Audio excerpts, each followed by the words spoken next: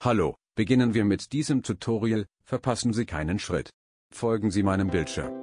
Lass uns anfangen.